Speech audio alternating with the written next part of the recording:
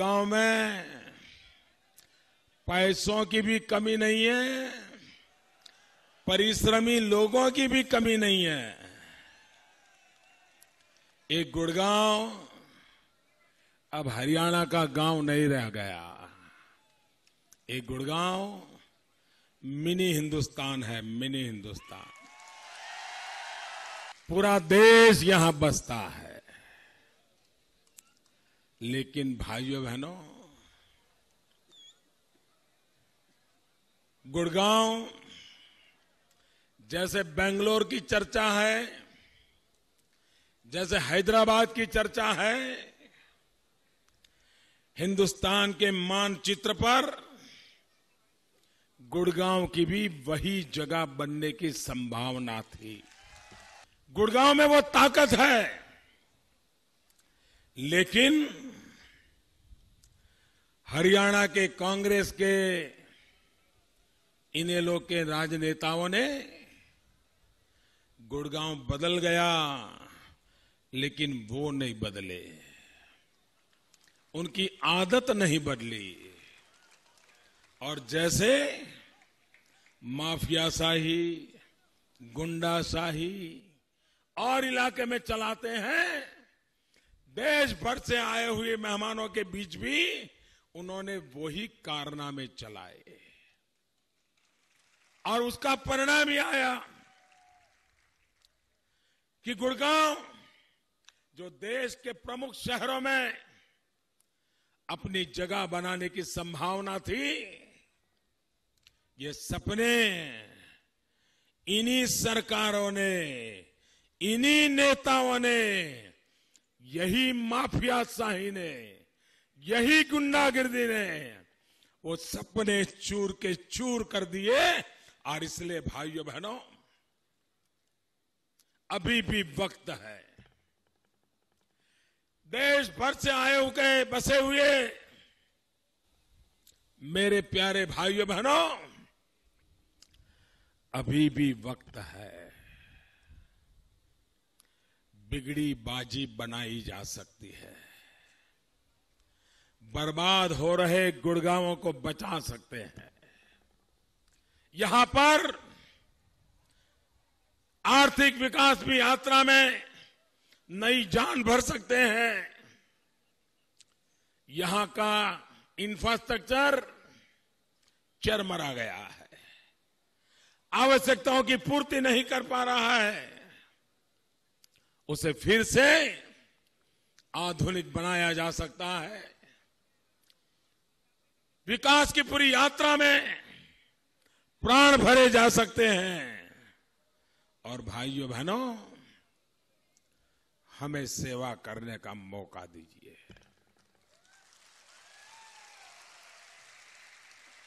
आपके सपने पूरे करने का हमें अवसर दीजिए।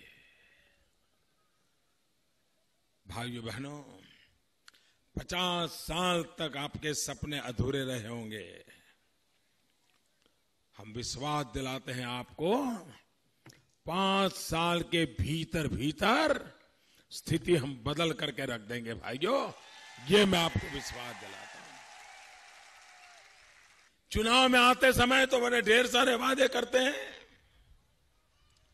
लेकिन हरियाणा में मैंने देखा है वही परिवार शाही चलती है। जो ऐसे ही मुखिया शपथ लेकर के मुख्यमंत्री बन जाता है, उसके बेटे, उसके भतीजे, बहुएँ, दामाद, सबके सब सबके सब लग जाते हैं। और इनका सरकार चलाने का तरीका देखिए। एक तो सरकारी व्यवस्था होती है, कमिश्नरी होती है, डिस्ट्रिक्ट कमिश्नर होते हैं, डेप्यूटी डिस्ट्रिक्ट कमिश्नर होते हैं, वो पूरे देश में एक व्यवस्था है। हरियाणा में दूसरा है। सरकार की व्यवस्था अपनी जगह पे, इनकी परिवार की व्यवस्था पैरेलल चलती है। ये अपने बेटों को जागीर बांट देते हैं। बेटियों को, दामादों को जागीर बांट देते हैं। वो कहते हैं, देखो ये दो ज़िले तुम्हारे, दूसरे को कहते हैं दो ज़िले तुम्हारे, तीसरों को कहते दो ज़िले तुम्हारे। बांट देते, पूरे हरियाणा को बांट देते और एक आध बेटा शिकायत करता है कि पिताजी, आपने तो ऐसे ज़िले उसको दिए हैं कि वहाँ तो माला माल है। मुझे तो आपने ऐसा इलाका दे दिया। जो बिल्कुल रुका सुखा है। तो फिर बाप कहता है अच्छा चिंता मत करो, पुलिस वाले का डिपार्टमेंट तुझे दे देता हूँ।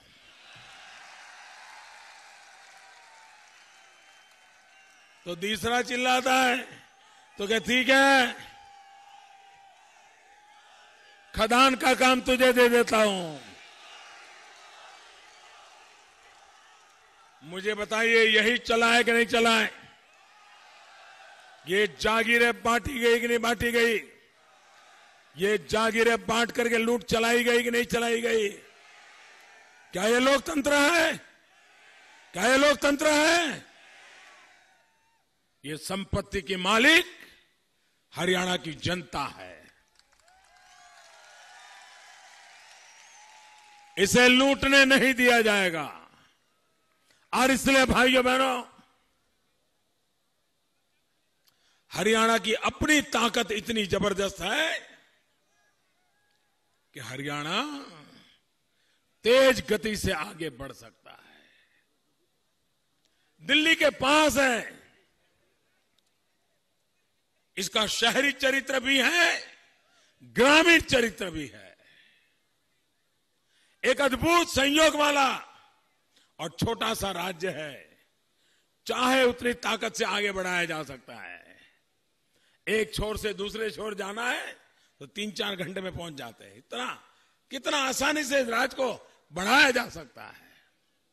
लेकिन भाइयों बहनों, ये अपनों को ही संभालने में खो जाते हैं। हरियाणा की जनता को संभालना उनका सपना नहीं होता है। इसलिए भाइयों बहनों मैं देख रहा हूँ, ये चुनाव अभियान में, ये मेरा आखिरी कार्यक्रम है। अभी मैं जिंद से आ रहा हूँ, जिंद से। मैंने जिंद में ऐसा विराट रूप पहले कभी नहीं देखा था। आज मैंने जिंद में जीत की जीत देखी है, भाइयों, जीत की जीत देखी है और जिंद में जब जीत की जिंद दिखाई जाती ना तो फिर तो हरियाणा उसी दिशा में चल पड़ता है भाई। आज हमारे हरियाणा में उत्पादन बढ़े कि न बढ़े, यहाँ की आर्थिक स्थिति सुधरे कि न सुधरे, ये ऐसी सरकार है जो बिजली भी नहीं दे पा रही है, पानी भी नहीं दे पा रही नौजवान को रोज़गार नहीं दे पा रही, माताओं बहनों को सम्मान नहीं दे पा रही है। जिस प्रकार से दलित मात कन्याओं पर बलात्कार की घटनाएँ घटी, और खुद उन्हीं की सरकार के समय बने हुए कमीशन ने जिस प्रकार का रिपोर्ट दिया, आक्रोश व्यक्त किया, उसके बावजूद भी हरियाणा की सरकार को कन्याओं पर बलात्कार करने वाले माफियाओं, गुंडागर्दी के सिरमौर लोगों को एफआईआर तक लिखने की हिम्मत इस सरकार में नहीं थी, भाइयों। क्या आपका जीवन माफियाओं के हवाले करना चाहिए? ये तबाही का मंजर बंद होना चाहिए कि नहीं होना चाहिए? और इसलिए, भाइयों बहनों, इस चुनाव में मैं देख रहा हूँ मैंने लोकसभा के समय भी हरियाणा में ऐसा मिजाज नहीं देखा था भाइयों। उसके बावजूद भी हरियाणा ने जो लोकसभा में अभूतपूर्व विजय दिया था, अभूतपूर्व विजय दिया, इस बार तो मैं उससे भी डबल लोगों को देखता हूँ, हर सभा में देखता हूँ। सारे पॉलिटिकल पंडित भी इतना तो मान गए हैं। दो प्रकार की चर्चाएँ आजकल चल रही है। एक, बहुत बड़ा वर्ग है, बहुत सारे सर्वे हैं, वो यही कहते हैं कि पूर्ण बहुमत के साथ भारतीय जनता पार्टी की सरकार बनेगी। लेकिन कुछ लोग कहते हैं कि नहीं, पूर्ण बहुमत वाली सरकार नहीं बनेगी। ऐसा कहने वाले लोग कहते हैं, सरकार बनाने में कुछ न कुछ कम पड़ जाएगा। लेकिन ये लोग भी एक बात डंके की चोट पे कह रहे हैं कि नंबर एक पार्टी तो बीजेपी ही बनेगी। इसका मतलब ये तय है कि सभी पॉलिटिकल पंडित ये बात को मानते हैं कि सरकार भाजपा की बनने वाली है। कुछ लोग कहते हैं पूर्ण बहुमत के साथ, कुछ लोग कहते हैं दो चार कम पड़ जाए। लेकिन मेरे भाइयों बहनों, मैं आपसे आग्रह करने आया हूँ, आप किसी हालत में भी लूली लंगड़ी सरकार मत किसी की मदद लेनी पड़े, ऐसी सरकार मत बनाना मेरे भाइयों। वरना पूरा हरियाणा के लिए जितनी चाहिए ना, उतनी चीज़ें ये मदद करने वाले लूट लेंगे। आपके सारे सपने चुरा के ले जाएँगे। और इसलिए भाइयों बहनों,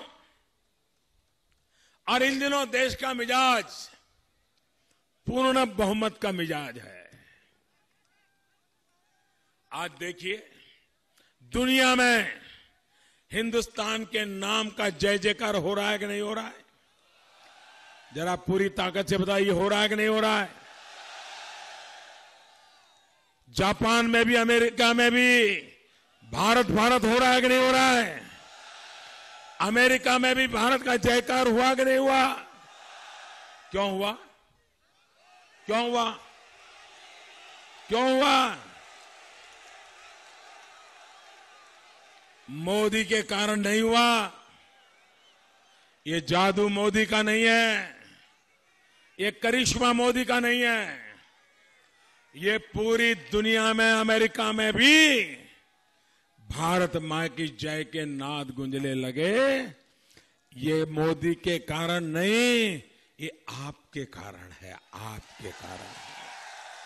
सवा सौ करोड़ देशवासियों के कारण है भाइयों। पाँच महीने पहले लोकसभा के चुनाव में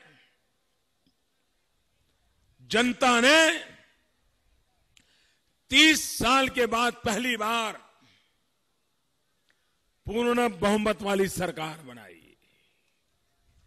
ये पूर्ण बहुमत वाली सरकार बनने के कारण जब मोदी किसी को मिलता है ना तो सामने वाले नेता को मोदी नहीं दिखता है। जब मोदी मिलता है तो उसे सवा सौ करोड़ हिंदुस्तानी दिखते हैं, सवा सौ करोड़।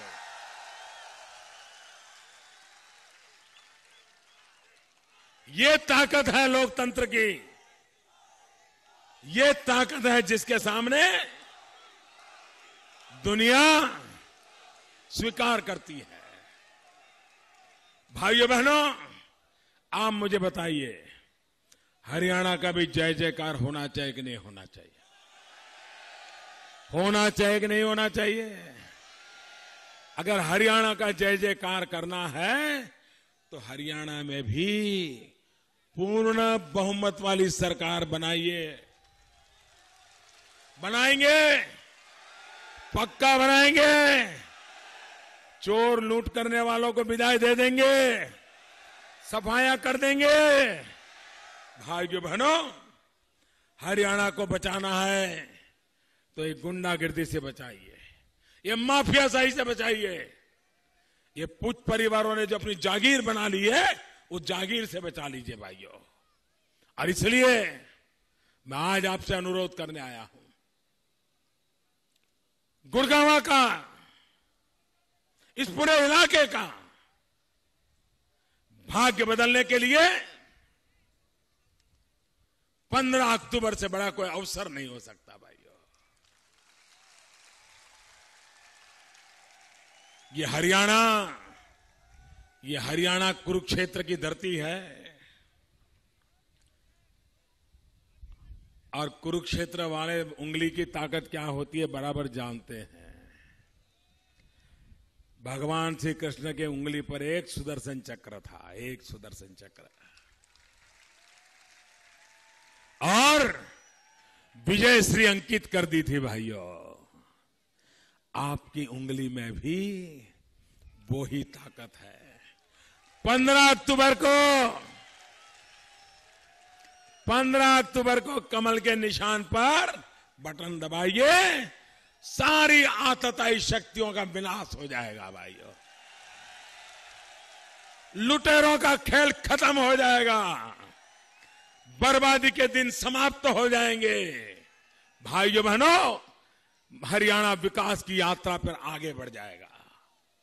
और इसलिए मैं आज अनुरोध करने आया हूँ, भारतीय जनता पार्टी को विजयी बनाइए। पूर्ण बहुमत के साथ विजयी बनाइए। सभी उम्मीदवारों से मेरी प्रार्थनाएँ आ जाए। सारे उम्मीदवार आ जाए। भाइयों, बहनों, यहाँ से जाते समय मेरी एक बात मानोगे? सबके सबका जवाब चाहिए, मुझे मानोगे? पक्का मानोगे? मैं जो कहूँगा करोगे?